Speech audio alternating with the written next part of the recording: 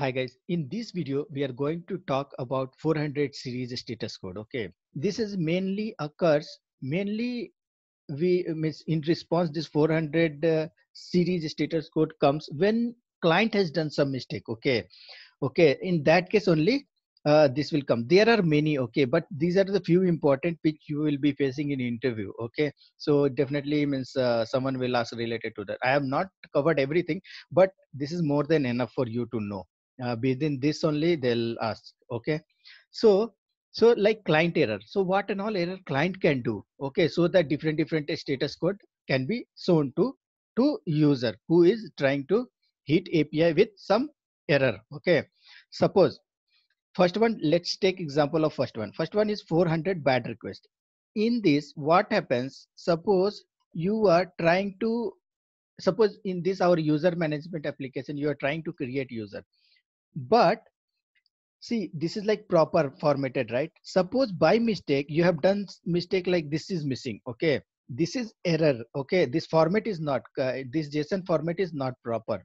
So in that case what will happen? Your request will go to server okay? Along with this data okay? In server the format this json format is not proper so server will not able to read this properly okay? In that case yes you will get thrown with this error message okay? 400 bad request. Then you need to update this and then you can send it. Then it will start working okay? So this is what uh, about 400 bad request. Now 401 unauthorized okay? Suppose there is one guy okay who is not registered to your application okay? It means uh, and that guy is trying to use some apis related to your uh, uh, uh, uh related to your application okay? So in that case user will get like like 401 unauthorized. It means user is not at all authenticated.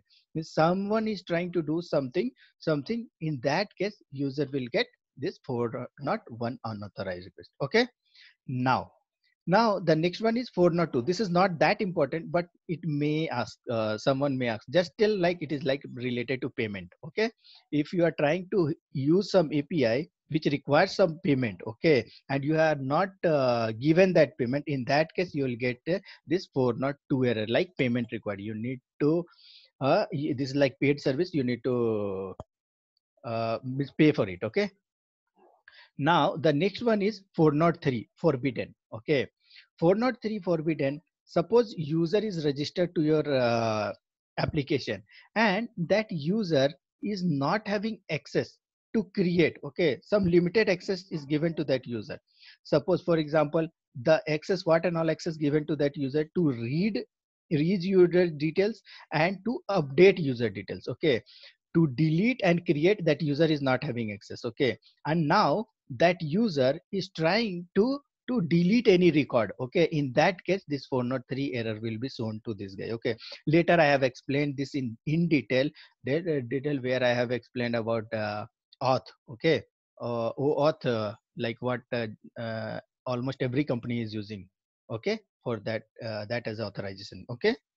So there i have explained it properly. So here just you know like if user is not authorized to do some work okay? And that user is trying to do that. In that case this 403 error will be shown to you.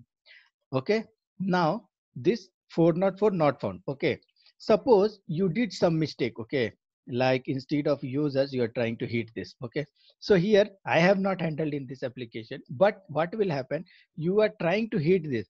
So but this url itself is not available okay? Because the url actual url is this and you are trying some url which does not exist okay? Like this which does not exist in the application. So in that case 404 not found error you will get okay? So this is what this 404 not found error. Now 405 method not allowed okay? Suppose i am trying to update the details of user and by mistake instead of put i'm trying post request okay? In that case case user will get error message like for uh, 405 uh, method not allowed okay? So you should know like if uh, your uh, response code is 405 it means you are trying to use put or get instead of post or some other things okay? So in that case this 405 comes. Now 408 request timeout okay? This is also not uh, that important okay? This is also not that important. But when it occurs you know suppose server server is expecting that client will hit this api okay? But client will hit this api within a specified time. For example like uh, when you are going to atm okay and you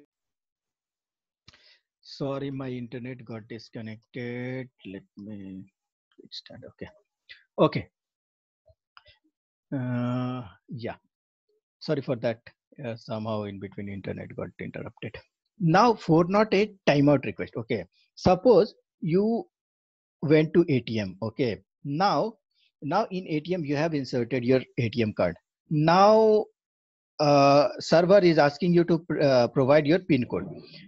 Server will wait for some time. If you'll not provide your pin code within that specified time duration then then request timeout will happen and uh, your session will get expired. So in such cases 408 on 408 8 request timeout response user used to get okay? And this 413 entity request entity is too long. What happens? Suppose you are trying to upload any file okay? And that file file size is very big which server cannot accept okay? Server is having some limitations of 1 gb and you are trying to upload 1 gb uh, plus data okay? In that case you will get this request entity too long 413 status code okay? And this 41 uh, 415 unsupported media types when it will come okay? Suppose you are uploading any uh, image okay? So one api is there you can upload any image.